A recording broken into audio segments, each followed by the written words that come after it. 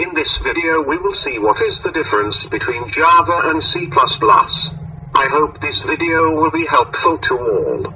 Thank you. Both Java and C++ support object-oriented programming, yet there are differences between them.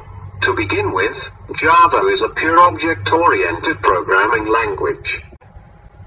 On the contrary, C++ supports both procedural and object-oriented programming. Therefore, it is called a hybrid language. Java does not support pointers, templates, unions, operator overloading, structures etc. Java supports what it calls references. References act a lot like pointers in C++. But you can perform arithmetic on pointers in Java. References have types, and they're type safe.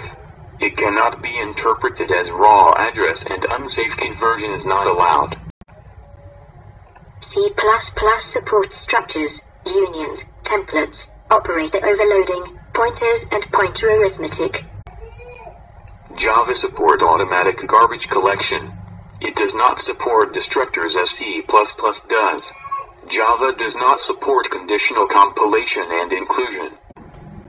C++ supports destructors, which is automatically invoked when the object is destroyed.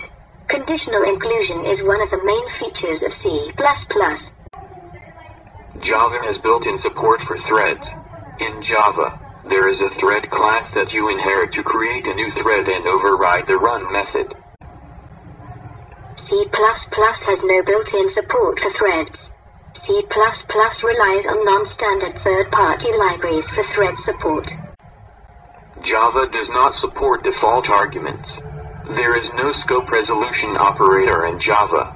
The method definitions must always occur within a class. C++ supports default arguments. C++ has scope resolution operator which is used to define a method outside a class and to access a global variable. There is no go to statement in Java. The keywords constant and go to are reserved, even though they are not used. Java doesn't provide multiple inheritance. C++ has go to statement. However, it is not considered good practice to use of go to statement. C++ does support multiple inheritance. Exception handling in Java is different because there are no destructors. Also, in Java, try, catch must be defined if the function declares that it may throw an exception. While in C++, you may not include the try, catch even if the function throws an exception. Java has method overloading, but no operator overloading. String class does use the plus and plus equals operators to concatenate strings and string expressions use automatic type conversion. C++ supports both method overloading and operator overloading. Java has built-in support for documentation comments. Source files can contain their own documentation, which is read by a separate tool usually Javadoc and reformatted into HTML. C++ does not support documentation comments. Java is interpreted for the most part and hence platform independent. C++ generates object code and the same code may not run on different platforms. There are many other subtle differences and similarities in Java and C++. Here, we included the major ones.